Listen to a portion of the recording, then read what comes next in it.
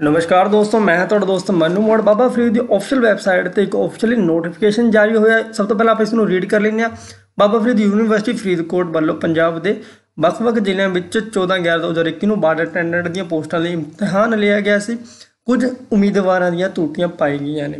ਮਤਲਬ ਉਹਨਾਂ ਦਾ ਜਿਹੜਾ ਐਪਲੀਕੇਸ਼ਨ ਫਾਰਮ ਸੀ, ਉਸ ਵਿੱਚ ਮਿਸਟੇਕ ਹੋ ਚੁੱਕੀ ਹੈ। ਮਤਲਬ ਕੋਈ ਨਾ ਕੋਈ ਪ੍ਰੋਬਲਮ ਹੋ ਚੁੱਕੀ ਹੈ।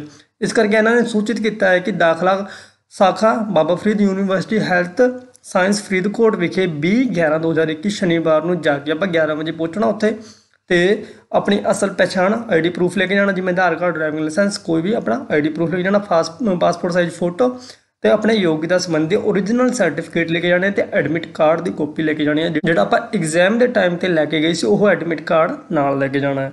ਹੁਣ ਕਿਹੜੇ ਕਿਹੜੇ ਕੈਂਡੀਡੇਟਾਂ ਦੇ ਐਪਲੀਕੇਸ਼ਨ ਫਾਰਮ ਵਿੱਚ ਪ੍ਰੋਬਲਮ ਆਈ ਨੇ, ਉਹਦੀ ਲਿਸਟ ਵੀ ਤੁਹਾਨੂੰ ਦੱਸ ਦਿੰਦੇ ਇਸ ਤੋਂ ਪਹਿਲਾਂ ਤੋਂ ਪਹਿਲਾਂ ਜੋ ਵੀ ਬੱਚੇ ਐਸਐਸਬੀ ਕਲਰਕ ਜਾਂ ਐਫਸੀਆਈ ਦੇ ਐਗਜ਼ਾਮ ਦੀ ਤਿਆਰੀ ਕਰ ਰਹੇ ਨੇ, ਤਾਂ ਸਾਡਾ WhatsApp ਗਰੁੱਪ ਜੁਆਇਨ ਕਰੋ ਜਿਸ ਵਿੱਚ ਤੁਹਾਨੂੰ ਪ੍ਰੋਪਰ ਕਲਾਸਿਸ ਪ੍ਰੋਵਾਈਡ ਕਰਵਾਈ ਜਾਣਗੀਆਂ।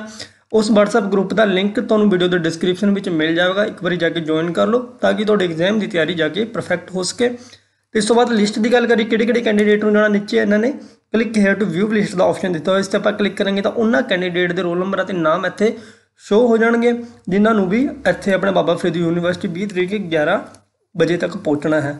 ਇੱਥੇ ਤੁਸੀਂ ਰੋਲ ਨੰਬਰ ਚੈੱਕ ਕਰ ਸਕਦੇ ਹੋ, ਇਸ ਦਾ ਲਿੰਕ ਮੈਂ ਤੁਹਾਨੂੰ ਵੀਡੀਓ ਦੇ ਡਿਸਕ੍ਰਿਪਸ਼ਨ ਵਿੱਚ ਦੇ ਦੇਣਾ ਇੱਥੇ ਆਪਣਾ ਰੋਲ ਨੰਬਰ ਚੈੱਕ ਕਰ ਲਿਓ। ਜੇ ਤੁਹਾਡੇ ਕੋਈ ਪ੍ਰੋਬਲਮ ਆਉਂਦੀ ਹੈ ਤਾਂ ਜਾ ਕੇ ਜ਼ਰੂਰ ਇਸ ਨੂੰ ਠੀਕ ਕਰਵਾ ਲਿਓ।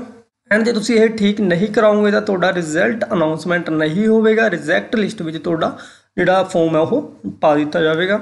ਓਕੇ ਦੋਸਤੋ, ਜੇ ਇਸ ਦੇ ਰਿਗਾਰਡਿੰਗ ਕੋਈ ਵੀ ਇਨਫੋਰਮੇਸ਼ਨ ਤੁਸੀਂ ਲੈਣਾ ਚਾਹੁੰਦੇ ਹੋ, ਤਾਂ ਇਹ ਮੇਰਾ ਇੰਸਟਾਗ੍ਰam ਆਈਡੀ ਨੰਬਰ ਹੈ, ਇਸ ਤੇ ਮੈਨੂੰ ਫੋਲੋ ਕਰਕੇ ਮੇਰੇ ਨਾਲ ਗੱਲ ਕਰਕੇ ਪੂਰੀ ਜਾਣਕਾਰੀ ਲੈ ਸਕਦੇ ਹੋ।